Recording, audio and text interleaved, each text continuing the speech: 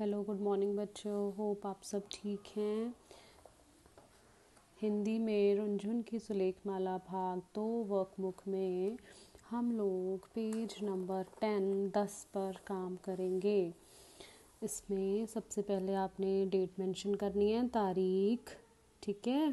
Then लिखना है H W right इसमें करेंगे दो अक्षर वाले शब्द पढ़ें और लिखें।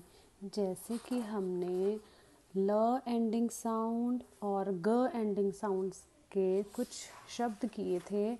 आज हम हिंदी में नो एंडिंग साउंड के दो अक्षर वाले शब्द करेंगे। ठीक है? इंपॉर्टेंट कुछ बातें हैं, जैसे कि व को यहाँ पे ज्वाइन करना है, ध को यहाँ पे ऐसे इसको सर्कल की तरह थोड़ा सा ज्वाइन कर देना है। ठीक है? अब इनको रीड करेंगे। आपने रीडिंग भी साथ साथ में करनी है। जब भी आप कुछ भी शब्दों को, जब भी सब शब्दों को लिख रहे हैं, आपने उनको साथ में रीडिंग भी करनी है। व वन वन, तन तन, मान, मन, धन धन, जन जन। सुंदर सुंदर पढ़कर इनको लिखना है। Thank you